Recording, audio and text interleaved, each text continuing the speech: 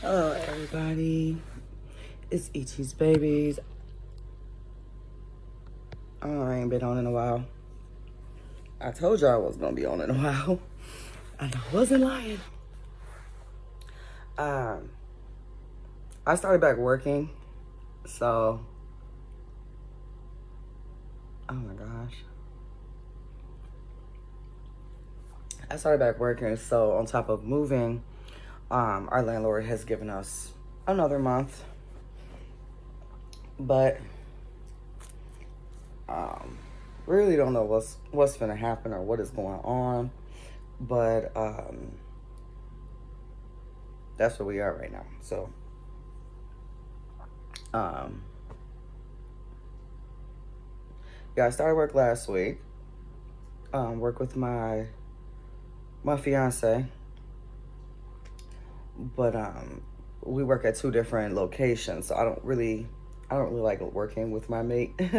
so I prefer us not to work at the same location. I mean, we live together. I don't know. For each his own. I was telling my sister about this, and I was like, dude, I really don't like working with my mate. like, I love him, but for me, when I go to work, that's like de stress time. I'm de stressing from the house, I'm de stressing from priorities, relationship, all that stuff. Because my son texted me yesterday and he was like, I literally just got in the truck yesterday. Literally just got off of work, got in the truck. My phone was dying. And he like, Mom, how your day going? The kids don't know I'm back working. I didn't tell nobody that I was working. So I'm like, good, baby, I just got off of work. And he was like, oh, okay. So now he want to have a, a full fledged conversation with me, and I'm like, dude, I literally just got off of work, and I'm my phone is about to die. So you know, I just text him real short. You know, I'm I just got off of work. He's like, okay, mom. So what you finna do? I said, rest. That's it. And he, got, I guess he got upset or he felt some type of way because he was like, "Why you being short with me?" I'm like, "Boy, I literally just got off of work. My phone is dying. I ain't even made it to the house yet. I'm tired. Don't feel like talking right now. I'm tired. I just got off of work." He's like, oh, "Okay, I was just making sure nothing was wrong with you." I'm like, "Boy, something about to be wrong if you don't stop with the attitude. I literally just got off of work, and it's my phone. If I don't feel like responding to you in a full-fledged paragraph is I ain't gotta explain to you why. like, boy got on my nerves as soon as I got off of work. I'm like, dude, you don't even live with me. And you are already rocking me. Leave me alone. I literally just got off of work. I literally just stepped in my truck. I'm trying to debrief the job before I go home. And here you are doing the most. I'm like, boy, mama is fine. I'm tired. I just don't feel like it right now. He's like, okay, mom, well, I love you and hope you eat something and, you know, watch a movie and be comfortable. I'm like, I am, babe. So once I got comfortable, you know, I texted him back and I told him, you know, once I got out the shower and put some food in my stomach, then I was able to have a conversation. But I don't know about y'all, but when I get off of work, I don't want to be bothered by not anything. I really don't. I do not want to be bothered. So, and he know that because when my kids were staying at home with me, well, when I was raising them, they used to, as soon as I walked through the door, y'all, blah, blah, blah, both of them at the same time. We had to stop that. I most definitely could not do that. You are not finna bum rush me as soon as I get in this house. Y'all. Yeah, and so I don't know why he didn't forgot that ain't nothing changed. If I, oh, he didn't know I was at work. First of all, y'all, I see my, my knee brace back on my leg. I go Friday to the doctor, um, which most most likely they're gonna ask to do a. They're gonna ask to um do an X-ray because I think I pulled a muscle a while back working out and um yesterday when I was at work, y'all, I bent down to pick I bent down to wipe something. I was working. So I bent down, I was cleaning something up. And when I bent down, y'all, I felt my knee. All day yesterday, I came in. I tried to do, you know, some stretching after work. I tried to, you know, put my leg weight on my legs so that I could kind of strengthen my muscle. It worked fine last night. It took the pain away. Um, I fell asleep. I put some of this on my knee before I fell asleep. It's Vapor Rub. Hold on, her head is turning. I want to show y'all what this looked like because I ain't never seen these before. When I was a kid, Vapor Rub came in a little container. You stuck your finger in it. You wiped it on you. I ain't never seen Vape Rub that looked like a tube of deodorant. It is, it's Vapor. See, it's the Vapor stick. And, um, my guy likes to research a lot of stuff. I had no idea Vapor Rub was good for so many different things. I literally grew up using Vicks on my chest, my nose when I was sick. I used it on my kids. I didn't know you could use it for headaches, body pains, cramps, um, muscle aches. I know you can use it for all that stuff. I, I may sound retarded, but I never knew that you could use this for all of those things. And trust me, I did it when I found out because I got all them elements and it really do work. It really does work. And I was kind of, I was kind of surprised because I really wasn't expecting it um, to do everything that my guy was reading that it could do. And I'm like, oh, oh, this whole time I wonder if my mother knew. Because, you know, she introduced me to using Vicks. She used it on us when me and my sister were kids. So I'm like, I had no idea that Vicks worked for multiple things and not just when you were sick to break the cold up out your chest or to open your nose up so you could breathe, but it also worked for other things. So I'm oblivious to that. And I don't research a lot of stuff because I'm a worrisome person and I get to research things and then I start worrying and overthinking. So it didn't never dawn on me to look up Vicks and find out what else it's good for. But my guy has this brain of curiosity. So he looks up everything, even things I tell him. he looks it up to make sure it's correct. So he looked up the Vicks and I was really, I had to come on here and tell y'all because I was just like, I wonder if anybody else knows this or am I the only one that's just oblivious to knowing that Vicks doesn't just help when you're sick. That sounds so bad, y'all and I have kids and I should have known this, but I've only ever had to use Vicks on my children when they were sick. It never dawned on me when they were going through their growth spurts and their body was aching and I could rub Vicks on them. Did not know that.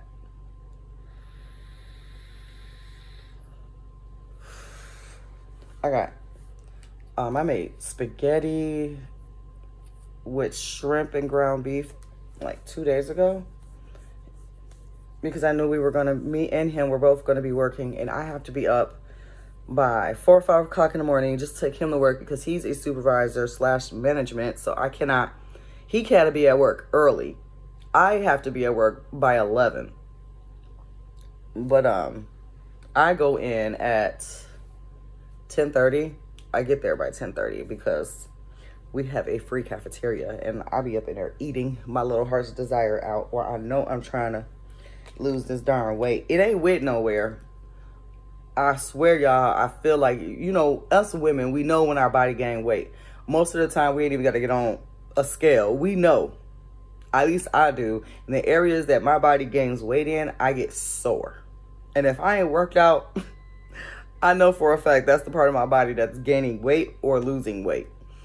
So I got on a scale. I have a smart scale. It actually, it, it checks for your, the amount of water that's in your body to see if you're dehydrated. It checks for a lot of stuff, but I ain't figured out how to play around with that thing. I just get on it. You're supposed to step on it without your socks on so that it can read how much water intake you have in your body and all these other great things. But I never take the time to take my socks off to let it read, read me because I'm afraid what it's going to read. so I just put my feet up there with my socks on so I could just see how much I weigh. And I'm still, my weight has stabilized. Y'all, this is alcohol and water still. Um, I've been working, so that last video I did with you guys is the last time I fed her. So we're just, and her arm is like, y'all see her arm? Yeah, I don't like that bending like that, so I'm gonna bring her arm back in. Okay, so yeah, y'all. I didn't get a chance to, to do the second or third feeding with the vinegar, the alcohol and water to make sure there is no mold in her. Um, because I started working. When I started working, um, I'm really, my body is used to being stationary. So when I went back to work the first day of actually working, y'all, my back felt it. My knee cracked open on me. so I'm like, oh Lord. I told my guys today, I was like, when I go to work today, I'm gonna um, wear my knee brace at work. Cause I was like, I'm not, I don't want to miss no days of work. So I was like, I'll just wear my knee brace. We ain't there that that long in the first place. We only there for a couple hours, um, every day. So I was like, dude, I'm not calling in to work. My knee has been like this for the past several months and I've managed to move around and do things that I need to do, get up and down stairs. I don't run, but I don't need to be running at work. So it's like I can do everything that I have been doing, I can do at work. The only difference is that when I go to pick up stuff and I have to bend, my guy was like, you to bend with your knees. And I'm like, I did. I didn't bend with my butt in the air. I'm at work. I'm like, I bent with my knees, but my knees ain't all that great, especially my left one. Like they both have the same um, tension in them, but my left knee needs, seems to be a lot more weaker than my right. Y'all bent down trying to wipe them darn tables down, them legs of them tables, and my knee was just like, what you doing? I know you're not bending down. I'm like, oh, crap. But it was good, though. It was at the end of the day. So, you know, with it being towards the end of the, of the well, I shouldn't say end of the day, but it was towards the end of the shift. So, you know, I just tried to, you know, what they um limp it out, just limp the whole rest of the day. Nobody noticed it, which was great. So today, uh, my guy was like, well, you know, let your boss know that, you know, your knee is kind of iffy. And, you know, he we both work for the same company, but we don't work at the same state place. He only comes to my place when um, somebody does a call in or something. He comes over to my station or over to my building because he was in my building yesterday, which I didn't like. I felt so uncomfortable because nobody knows we're together. And I'm like, I don't like working with my man. I will see you when I get home. But today he's at his own building. And I think tomorrow, y'all hear that beeping? That's my microwave, y'all. I can't wait to get another microwave. I don't like stuff that make noise. When someone gave that microwave to me when I first moved into this town, um, one of our neighbors, you know, she was moving out and she didn't want the microwave anymore. So she ended up giving it to me and I was like, great, the microwave works fine. It's clean. The only thing is that when it stops from warming something up, it will keep beeping to let you know that it's still in the microwave. Like, I ain't forgot I'm hungry. like, that's so annoying. Like, it just keep on beeping until you get up and go in there and open the door. So I'm, I told my guy, I was like, I really think that once we move into our new place, I'm going to replace the microwave because that is so dang annoying. I know my food is still in the microwave, but everything's going okay so far. Um, we haven't found a place yet. Um, when I started working, things got tad bit hectic. Um, yesterday, uh, my guy was tired from work. I was tired. Y'all, we literally came in, ate spaghetti, and watched the movie and fell out. we ain't do nothing else. if anything else required of us, it did not get done. Because, yeah it's not a long shift for me. It is for him, but my shift isn't long, which I was kind of disappointed in because I don't have an actual time of getting off work. I have a time of being there, but whenever I'm, when as soon as I get done, I can go home. And I'm like, wait, what? So my guy was like, I ain't used to no job where I don't have a set schedule. he was like, yeah, no, you go home when you done. I'm like, I don't know about that. I don't know how to pick up hours. It's bi-weekly, but I'm still like, dude, I'm trying to milk the company for every bit of money I can get. And you mean to tell me as soon as I'm done, I get to go home? Like, I'm not in my 20s. I don't have young children that I have to hurry up and be home for. My man is grown. He don't need me by his side 24-7. So I feel like, well, damn, I might as well move slow so I can stay there a little longer. Because I need some hours. Like, it's, it's a good job. It's easy money. But I've never been used to a job where you can just leave when you're done. I'm used to a job where you're there at it from a certain time to a certain time and then you can leave. And he like, no, when you're done, you, you get to go. I'm like, what? I swear, y'all. Y'all finna say, I know they didn't put no preemie diaper on this girl. What am I feeling? Okay, that ain't her. For a minute, I was going to say. But yeah, I haven't been on in a while. Y'all all know why, because I'm in the midst of moving. The nursery is pretty much broken down. I was supposed to sell three babies. Them babies I packed in a box because um they weren't really selling or moving as fast as I needed them to. And like I said prior, I wasn't finna be putting dolls up on layaway and I wasn't holding. And I decided that, you know what? I'm not really too quick to selling them because they were only going to be sold to add money to my income to help move. But with me working now and our landlord giving us another month to, you know, get our, some of our affairs in order, um, I really don't have a desire to sell them. so Tobias, Abraham, and who else was up there? Oh, and AJ are not for sale anymore because people did not, um, I don't want to say people took their time, but people were not interested in the babies. So I boxed them and I threw all of the clothes in a big garbage bag because I don't have the time um, to put all that stuff to, I wanted to fold all the baby's clothes, but if I was going to put it in a garbage bag, they're little tiny clothes. They're going to unfold and unravel anyway. So I just put them in there. So I was like, it is a hassle to ship a baby off because I don't just throw a baby in a box. I dress it up. I make it smell good. I do its hair. I find pretty clothes to send it off with. You know, I clean my pacifiers and sanitize them before I send them off because most of the pacifiers and things that I do send in my box openings, they are mine. They are not things that I went and bought in the store. So, you know, with COVID and everything, I try to make sure that when I send stuff off, it's not going off where somebody gonna open up that box and get sick. So I wipe stuff down. And I ain't got the time to be doing that right now, unfortunately. um, I don't want to seem like I don't have the time for you guys to sell babies to you guys because, you know, I don't want to put it like that. But I am going, I'm, I am in a situation right now where I can't reborn. And, um,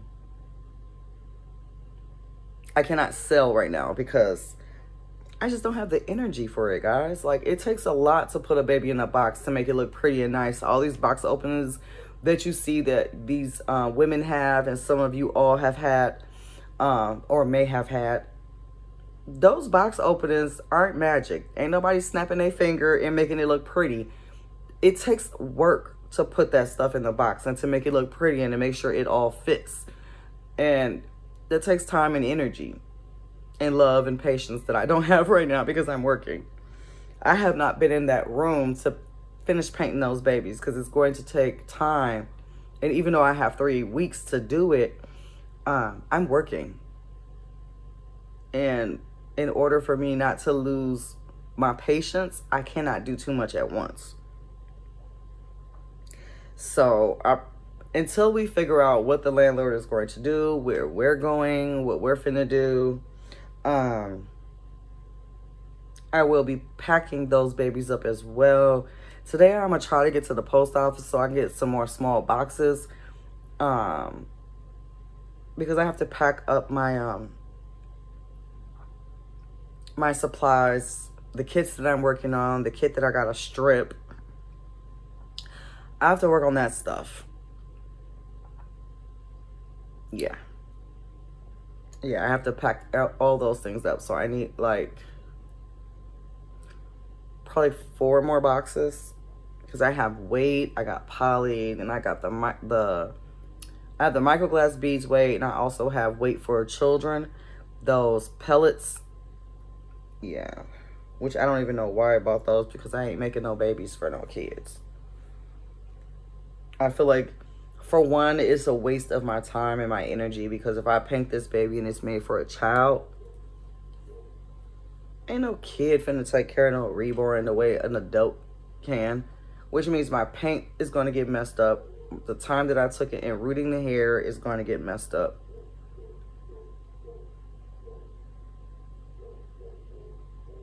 Can y'all hear that? I'm to have to watch this video. That's my neighbors upstairs with a dog. It is 7 o'clock in the morning, and that dog is barking nonstop. So, today, I was supposed to do this yesterday, but I had other things going on, I'm going to call the front office of the apartment complex and let them know that, listen, I don't know if y'all want to hear a dog barking at 7 o'clock in the morning, but my neighbor's dog barks all day long. You know, put him in doggy daycare while you at work. Because you're in a whole apartment complex, not a house, and the dog is barking, and he's barking now. So yeah, um, other than that, everything is going great as far as it can go. Um, yeah, every baby is, is packed up besides Pickles is the only one that I didn't pack. She kind of, I have her, um, her munchkin in here with me. Her swing set. Her little chair or whatever y'all want to call it well, that's in here with me right now. Um, I'm just going to feed her a little bit more and then I'm going to check her little diaper.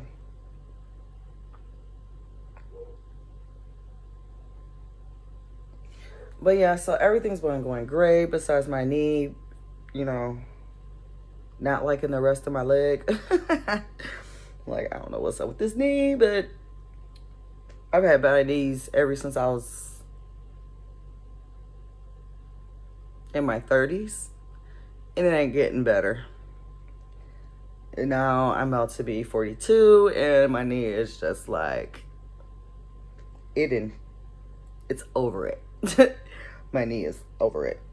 My knee like, no, I know we not doing this right now. So I'm gonna let her be done with this because I don't want to flood her system with um, alcohol and water.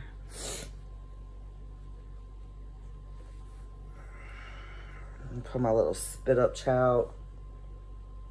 You always manages to do that to me. All right, so we just gonna help get the rest of the fluids and everything down to the bottom of her little body. She she don't have a reservoir, so her fluids go directly out of her. She don't have a bladder or anything. Of course, I have had babies like that in the past that had a reservoir and I wasn't aware of it. until I had to ask the artist about his drinking wet because he wasn't he wasn't letting it all out. And I thought something was wrong. And it he it it was just the fact that he had a bladder and if he wasn't sitting up or bending at the waistline to push the rest of it out, it was just sitting in his bladder and I was like, "Oh, that's neat." I didn't know that he had a reservoir. I didn't request a reservoir in him. I requested a drinking wet and he ended up having a, a bladder. And I thought that was just really neat.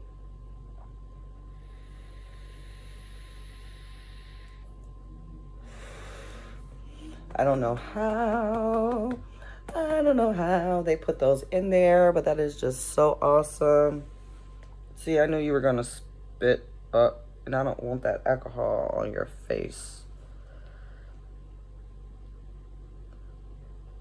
Considering alcohol does take the paint off your silicone, um, I don't dry her face, or I shouldn't say dry. I shouldn't wipe her face because of the alcohol. I mean, you really shouldn't wipe their their silicone skin anyways, but if you so happen to do for whatever reason, I would be a little cautious too. You know. I'd be a little cautious to wiping them with alcohol. Well, not with alcohol, but knowing that you're feeding them alcohol and they get it on their lips or something. I just mat it off. I don't what is on your face, girl? There we go. I don't um sit there and rub on her skin and stuff. It's 8.30 now. Thought it was 7. So it's 8. So I, I take that back. It's not 7, it's 8. I'm going to leave her in my bed. So when I get off of work today, I can just come in and get her. Well, actually, I can't come right home from work. I have to go downtown to my um, fiance's location and pick him up first. And then I can come home. and then I can come home. So I'm just checking her diaper. This is why you guys don't see her. You only see her little face because I'm checking her bum bum now. I just want to see if there's anything in her diaper.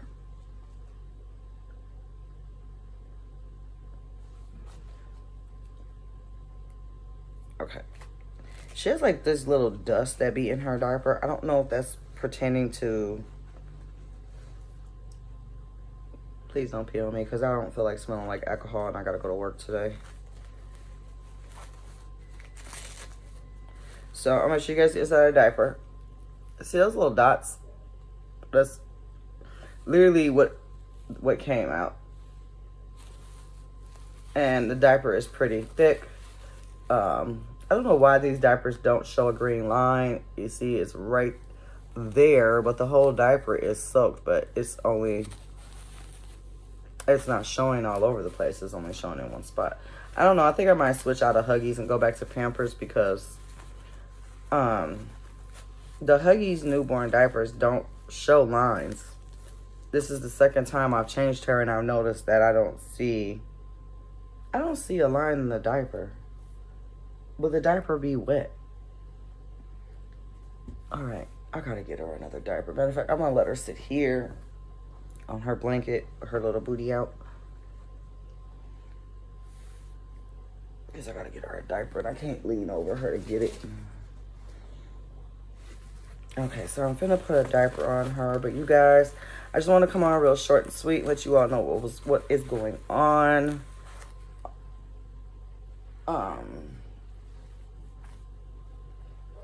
I'm not to put her diaper on her. I'm to let her diaper sit out so she can air dry. But yeah, I'm going to eat my spaghetti, enjoy the rest of the little bit of morning I have before I get on the road. And um, go make some money for today. So, yeah, guys, uh, I just wanted to come on really short and sweet. I'm going to try to do videos in the morning after I drop my guy off at work and then when I come home, before I go to work, I'll try to um, get some videos of, you know, Pickles up. I was trying to get Pickles a, an outfit for um, April, a spring outfit.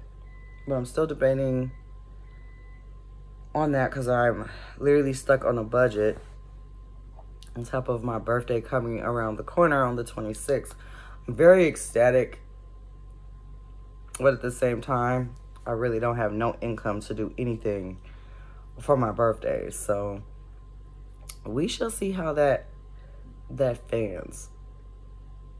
So yeah, guys, um, this is ET's Babies. I am signing out. Please remember to like and subscribe to my channel. Please remember to share my channel because sharing is caring.